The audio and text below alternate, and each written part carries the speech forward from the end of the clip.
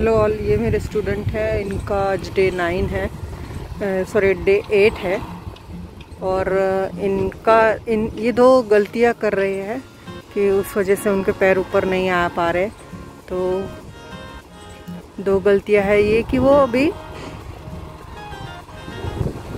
हाँ रखो, देखो, अभी वापस कर रहे हो। पहले चलो थोड़ा हाँ हाँ बराबर बराबर, अभी जाने दो। देखो कंटिन्यू नहीं किया ना। हाँ? कंटिन्यू नहीं किया, इसलिए पैर वापस आ गए नीचे। कंटिन्यू करो।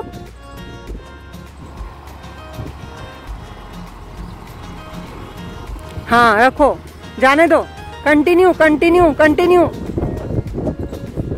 वो जो दो गलतियाँ है, वो मैं, वो बताने वाली थी तो गलतियाँ ये है कि वो पहले पैर रख रहे हैं, उस वजह से उनका बैलेंस जा रहा है कि, क्योंकि एक्सीटर कंटिन्यू नहीं रहता है तो पैर ऊपर स्कूटी के ऊपर नहीं रख सकते। और दूसरी गलती है कि वो जैसे ही एक्सीटर कांस्टेंट करते हैं और पैर ऊपर लेने लगते हैं तो वापस स्पीड कम कर देते तो तुरंत पैर नीचे आ जाते हैं। इस वजह से उनका बैलेंस भी नहीं बन रहा है और पैर भी ऊपर वो कांस्टेंट नहीं रख पा रहे हैं।